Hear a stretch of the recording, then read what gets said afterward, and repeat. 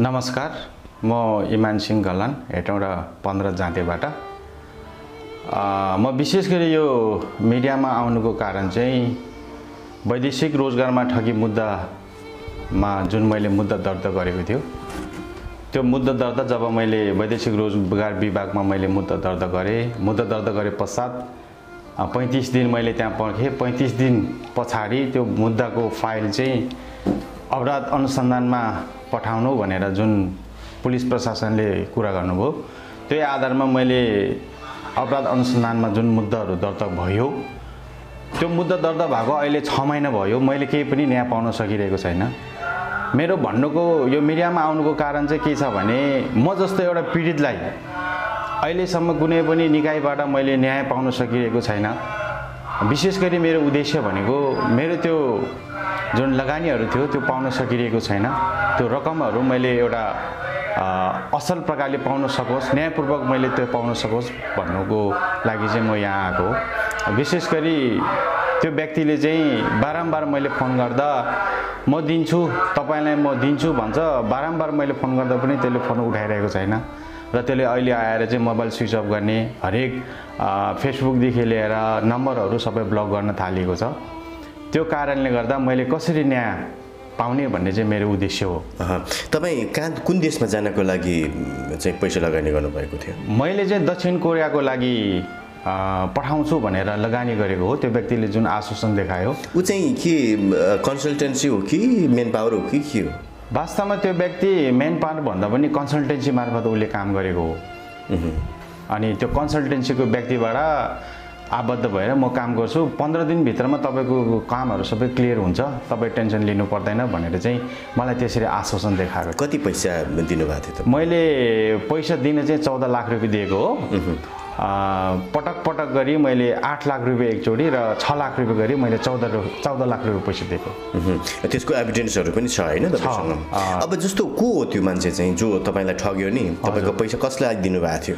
त्यो चाहिँ मैले काठमाडौँ नारायण टार बस्ने उन्चालिस वर्षको बहेन बहादुर बास्ताकोटी भन्ने व्यक्तिलाई उसको सिटिजन ब्याङ्कमा मैले हालेको थियो। भनिसकेपछि के भन्थ्यो अनि त्यसपछि पैसा हालिसकेपछि उसले के भन्यो? अहिले के भनिरहेछ? पैसा हालिसकेपछि उसले के भन्यो भने पैसा हालेर तिन दिनसम्म ऊ कन्ट्याक्टमा आयो। तपाईँको चाहिँ काम हुँदैछ। अब टिकट मात्रै हामीले लिनु बाँकी छ। टिकट भइसकेपछि तपाईँको एक हप्ताभित्रमा फ्लाइट हुन्छ भन्ने कुरो भयो। तर पछि आएर चाहिँ उसले अलि मसँग टाँटिँदै गयो। अनि किन यस्तो गर्नुभएको भनेर मैले फोन गर्दा एसएमएस गर्दाखेरि रिप्लाई गरेन त्यसरी नै त्यो टाँटिँदै गयो। त्यसपछि अहिले के भनिरहेछ? अहिले कन्ट्याक्टविहीन छ। तपाईँको एक वर्ष भयो छ महिनासँग मसँग कन्ट्याक्टमा आयो। एक वर्ष भयो कन्ट्याक्टविहीन छन्।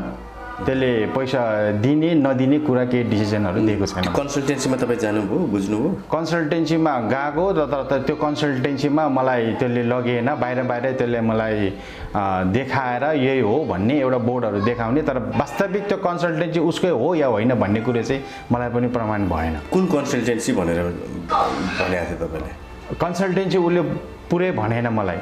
यो भनेर उसले बोर्ड देखायो कहिले चाहिँ मेन पावरबाट एजेन्सीबाट गरेको हो भन्ने?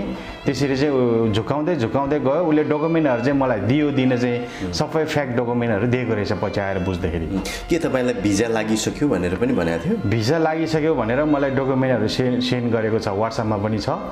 अनि उसले यति यतिजनाको भिजा चाहिँ एप्रुभ भइसक्यो भनेर अफर लेटरको जुन लेटरहरू पनि दिएको थियो। कतिजना तपाईँ जस्तो मान्छेहरू तपाईँको साथीहरू कति थियो? छजना हामी छजना हो छजना मध्येमा म चाहिँ हेटौँडाबाट म एक्लै पऱ्यो जुन छजना मध्येमा पनि हाम्रो फोनमा मात्रै कन्ट्याक्ट भयो साथीभाइ कुनैले भेटघाट गराएन उनीहरूले। तर मसँग के रेकर्ड छ भने तिनीहरू पनि ठगीमा परेको छ भन्ने कुरा एउटा प्रमाण चाहिँ वाट्सएपमा जुन रेकर्ड छ जुन व्यक्तिसँग गरिएको जुन बायन बहादुर बास्तकोटी भन्नेसँग त्यो रेकर्डहरू चाहिँ मसँग छ। ए भनिसकेपछि त्यो त्यो के भन्नुभयो फेरि भन्नुहोस् त। त्यो जो जसलाई जसले तपाईँलाई ठग्नु भएको थियो नि त्यो मान्छे बयान बहादुर बास्ताकोटी। बाहेन बहादुर बास्ताकोटी नारायण टार सात गोकर्णेश्वरमा बस्ने। जस्तो के भनेर चाहिँ तपाईँलाई अहिले पछिल्लो समय चाहिँ अन्तिम समय कहिले कुराकानी भयो? त्यतिखेर के भन्थ्यो उसले? उसले कुराकानी गरेको लगभग लगभग छ महिना पछाडि अहिले एक डेढ वर्षको अवध- अवधिमा एक वर्ष भयो कुरोकानी छैन अनि त्यो मान्छे फरारको फरार छ उसको सम्बन्धित व्यक्ति भनेको उसको श्रीमतीसँग मेरो कुरोकानी भइरहेछ। हुन्छ म दिन्छु। अर्काको पैसा खाएपछि तिर्नुपर्छ भनेर भन्दैछु तर वास्तविक त्यसले पनि श्रीमतीले पनि राम्रो प्रतिक्रियाहरू चाहिँ दिएको छैन। कसरी ढाकछोप गर्ने कुन कसरी चाहिँ यसलाई चाहिँ अब फसाउने नियतले चाहिँ यिनीहरूले काम गरेको भन्ने कुरो चाहिँ म बुझ्नमा आएको छ जस्तो पुलिस प्रशासन र न्यायको लागि तपाईँले कतै अड्डा अदालत कतै धाउनु भयो कि के के गर्नुभयो कि केही गर्नुभयो तपाईँले? मैले पुलिस प्रशासनको लागि प्रक्रिया भन्नुपर्दा मैले अघि नै भने वैदेशिक रोजगार विभागमा गएर मैले मुद्दा दर्ता गरेँ। उहाँहरूको नियम र नीति अनुसार पैँतिस दिन म पर्खेँ। पैँतिस दिन पछाडि उहाँहरूले वैदेशिक रोजगार विभागको प्रशासकीय अधिकृतले के भन्नुभयो भने यो केस पैँतिस दिन नेगे नागेपछि हामीले हेर्दैनौँ। यो केस चाहिँ अब अपराध अनुसन्धानले हेर्छ भन्नुभयो। त्यही आधारमा मैले अपराध अनुसन्धानमा गएर मैले फेरि फाइल खोलेँ। त्यो फाइल खोलेको पनि छ महिना भयो र छ महिना हुँदा पनि मेरो यो केसहरू किन यो खुलिरहेको छैन? किन यो केसहरू चाहिँ बन्द रहे गरिरहेछ भन्ने कुरो म आफै पनि अन्यलमा परिरहेको छु। अनुसन्धानको अर्थ नै के हो? भन्ने नै म आफै अन्यलमा परिरहेको छु। कुनै पैसामा पो बिगिरहेको छ यो प्रशासनहरू त्यो भन्ने भन्नु पनि पर्ने बाध्यताहरू अहिले ममा भइरहेको छ। किनभने म त पीडित पक्षबाट बोल्दैछु। मैले त सही गरे तिनले चाहिँ तपाईँको चौध पन्ध्र लाख पैसा त डेढ वर्ष भयो मैले त जग्गा राखेर तिरेको छु। त्यो पैसा चाहिँ अब कसले दिने? म जस्तो एउटा पीडितले त्यो पैसा मैले निकासा गर्न त नसकेपछि म त यसरी मिडियामा त आउनु पर्यो। त्यो चाहिँ मेरो एकदमै एकदम गुनासोको कुरा छ जस्तो ब्याङ्क भाउचरहरू उसैको नाममा वैदेशिक रोजगारकै लागि भनेर तपाईँले दिनुभएको थियो? हजुर। वैदेशिक रोजगारको लागि भनेर मैले ग्लोबल आइएमई ब्याङ्कबाट मैले दुईचोटि पैसा दिएको छ। र सिटिजन ब्याङ्कले पनि मैले केवाइसी सबै डिटेलली निकालिसकेको छ।